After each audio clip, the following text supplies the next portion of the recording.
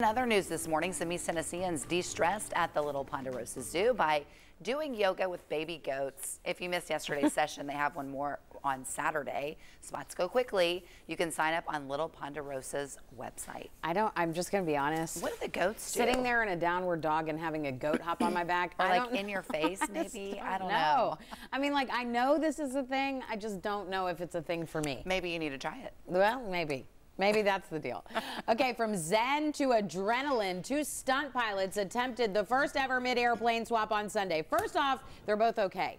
But the stunt did end in one of the planes crashing to the ground in Arizona. You guys watch your screen Whoa. if you have a second. The FAA is now investigating this case. The two put their Cessna planes into tandem nosedive mode at 14,000 feet, and then they jumped out, oh, each goodness. trying to dive into the other cockpit and land the planes. One man was able to successfully make the swap. The other had to parachute to safety, but they are still calling the stunt a success. What? But now they're under investigation yeah. because it's you shouldn't be doing this, this Mike. Crazy. Yeah, uh, we, well, I mean, it's Red Bull. I mean, they're always pushing the limits with Red Bull. And I think there's a huge conversation on social right now, saying uh, because they're they're looking at uh, FAA is looking at taking away their pilot certificates, right. their licenses, and whatever, uh, because of this. Because it's a you know, the, first of all, there's a whole controversy of they asked permission from the FAA, permission, uh, they were denied permission, but still went along with the stunt. Oh, wow. And so that's the uh, issue, yeah. I think. It's not necessarily that they did this crazy stunt, but they just didn't just have the permission the from the FAA, from what I understand of what I've read. So That was pretty crazy. Pretty crazy stuff. I watched the whole thing was uh, on Hulu, uh,